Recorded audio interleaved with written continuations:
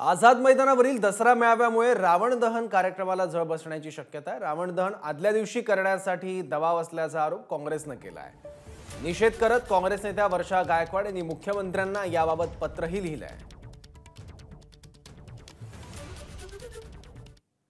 दुर्दैवाची अशी गोष्ट आहे की लोकांच्या आणि भारतीयांच्या भावनांना कदर न करता भारतीय संस्कृतीचं जपण न करता स्वतःची राजकीय पोळी भासण्यासाठी स्वतःची राजकीय मिटिंग होण्यासाठी परंपरागत चाललेली अठ्ठेचाळीस वर्षाची रामलीला एक दिवस आधी बंद करण्याचा निर्णय इथल्या राज्य सरकारने घेतलेला आहे. त्याचा आम्ही या ठिकाणी निषेध करतो. रामलीला ही सुरुवातीपासून शेवटपर्यंत तारीख ठरल्याप्रमाणे झाली पाहिजे.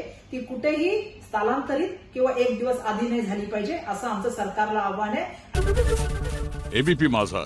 उघडा डोळे बघा नीट.